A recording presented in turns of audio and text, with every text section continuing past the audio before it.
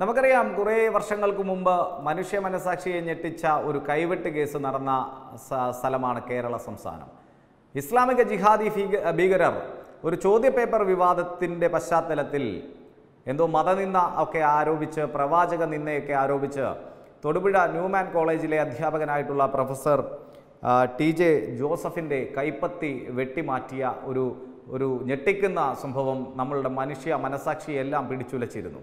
അതിനുശേഷം അദ്ദേഹത്തിന്റെ കൈവെട്ടി അദ്ദേഹം കുറേ നാളുകളായി സമൂഹത്തിൽ ഒരു ഒരു പക്ഷേ ഒറ്റപ്പെട്ട് കഴിയുകയായിരുന്നു. അതിനിടയിൽ അദ്ദേഹത്തിന്റെ കുടുംബത്തിലൊക്കെ തന്നെ മാനസിക സമ്മർദ്ദം താങ്ങവയ്യാതെ അദ്ദേഹത്തിന്റെ ഭാര്യ ആത്മഹത്യ ചെയ്ത് ഉൾപ്പെടെയുള്ള ഒരു വലിയ സങ്കീർണമായ പ്രതിസന്ധികളിലൂടെയായിരുന്നു ആ അധ്യാപകൻ കടന്നുപോയത്. ആ ഒരു മനുഷ്യൻ അനുഭവിച്ച മനോവ്യത അത് വളരെ ഏറെയാണ് അദ്ദേഹം സാമൂഹ്യമായി ഒരു വലിയ ഒരു എന്താ പറയുന്നത് ഒരു അജ്ഞാതവാസത്തിൽ തന്നെയായിരുന്നു കുറേ നാളുകൾ. അതിനുശേഷം തോമസ് സാർ ഇപ്പോൾ പുറത്തേക്ക് വരുന്നു സമൂഹത്തിലേക്ക് വരുന്നു. കാരണം അറ്റുപോകാത്ത ഓർമ്മകൾ എന്ന തന്റെ ഒരു ആത്മകഥ പ്രസിദ്ധീകരിച്ചുകൊണ്ടാണ് ജോസഫ് സാർ ഇപ്പോൾ ജോസഫ് മാഷ് ഇപ്പോൾ സമൂഹത്തിന്റെ മുഖ്യധാരയിലേക്ക് വന്നിട്ടുള്ളത്. അപ്പോൾ ആ ഒരു അവസരത്തിൽ അദ്ദേഹം ഈ പറഞ്ഞു വെക്കുന്നത് എന്തെന്നാൽ കൈ മാത്രമല്ല കാലും വെട്ടി എന്നാണ് അദ്ദേഹം ഇപ്പോൾ പറയുന്നത്. തന്റെ കൈ മാത്രമല്ല തന്റെ കാലും വെട്ടുന്ന ഒരു അവസ്ഥ വിശേഷം അന്നുണ്ടായിരുന്നു. കാരണം അദ്ദേഹം ഈ പറയാൻ കാരണം താൻ തൊടുപുഴ ന്യൂമാൻ കോളേജിലെ ഒരു അധ്യാപകനായിരുന്നു. ഈ ഒരു കൊടും ക്രൂരം ക്രൂരത തനിക്ക് ഏൽക്കേണ്ടി വന്നത് തൊടുപുഴ ന്യൂമാൻ കോളേജിലെ അധ്യാപക വൃത്തി അധ്യാപക വൃത്തിയുടെ ഇടയിലാണ്. എന്നാൽ പോലും തനി താൻ ഇത്രയധികം ഒരു വലിയ ഒരു ഒരു എന്താ പറയുന്നത് ഒരു തീവ്രവാദ ഒരു പ്രവർത്തിക്ക് തന്നെ ഇരയായിട്ടും തന്റെ സ്ഥാപനം തനിക്ക് ഒരു നീതി നൽകിയില്ല എന്ന് വളരെ വിഷമത്തോടു കൂടി അദ്ദേഹം പറയുമ്പോൾ ഇതിന് മറുപടി പറയേണ്ടത് തൊടുപുഴ ന്യൂമാൻ കോളേജിന്റെ മാനേജ്മെന്റാണ് ആ കോളേജ് റൺ ചെയ്യുന്ന സഭയാണ്. കുറ്റക്കാരനല്ലെന്ന് കോടതി കണ്ടെത്തിയിട്ടും ജോലി ചെയ്ത സ്ഥാപനത്തിൽ നിന്ന് നീതി ലഭിക്കാതെ വന്നതാണ് തന്നെ മാനസികമായി തകർത്തതെന്ന് മതതീവ്രവാദികളുടെ വെട്ടേറ്റ് കൈയറ്റുപോയ പ്രൊഫസർ ടി ജെ ജോസഫ് വളരെ വളരെ വളരെ വിഷമത്തോടു കൂടി പറയുന്നു.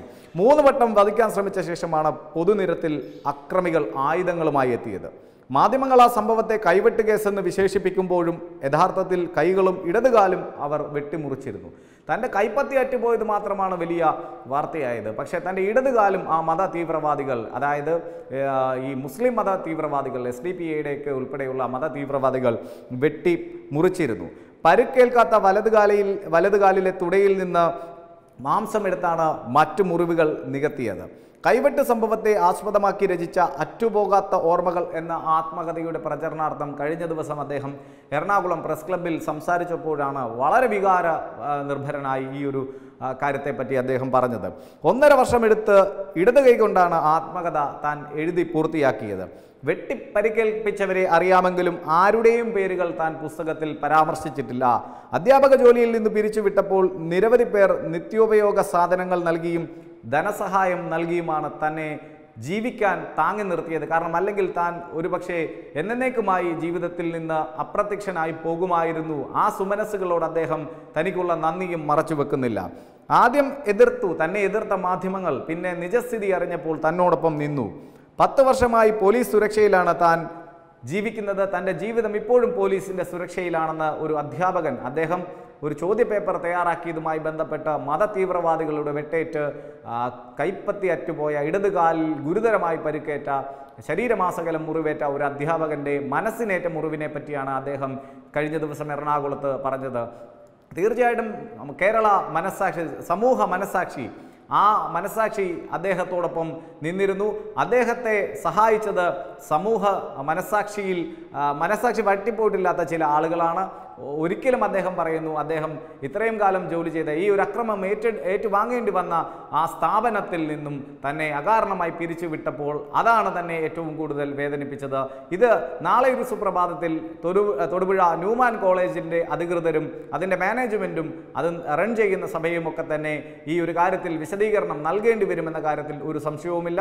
അദ്ദേഹം മതതീവ്രവാദികൾ വെട്ടിയ മതതീവ്രവാദികളെയൊക്കെ തനിക്ക് അറിയാമെന്ന് പറയുമ്പോഴും അദ്ദേഹം ആരുടെ പേരും അറ്റുപോകാത്ത ഓർമ്മകൾ എന്ന ആത്മകഥയിൽ എഴുതി ചേർത്തിട്ടുമില്ല. ഒന്നര വർഷം എടുത്തു താൻ ഇടത് കൈകൊണ്ട് ഈ ഒരു ആത്മകഥ എഴുതി പൂർത്തിയാക്കാനെന്നും അദ്ദേഹം പറയുമ്പോൾ സ്വാഭാവികമായും ഇതൊരു സൂചനയായി തന്നെ നമുക്ക് കണക്കാക്കണം. കാരണം തന്നോടൊപ്പം തന്നെ നിഴൽ മാത്രമേ കാണൂ എന്ന പഴയൊരു ചൊല്ല് അന്വർത്ഥമായിരിക്കുന്നു. പ്രൊഫസർ ടി ജെ ജോസഫിന്റെ കാര്യത്തിൽ എന്ന ഒരു കാര്യം മാത്രമാണ് നമുക്ക് വളരെ വിഷമത്തോടു കൂടി പറഞ്ഞു വെക്കുവാനുള്ളത്.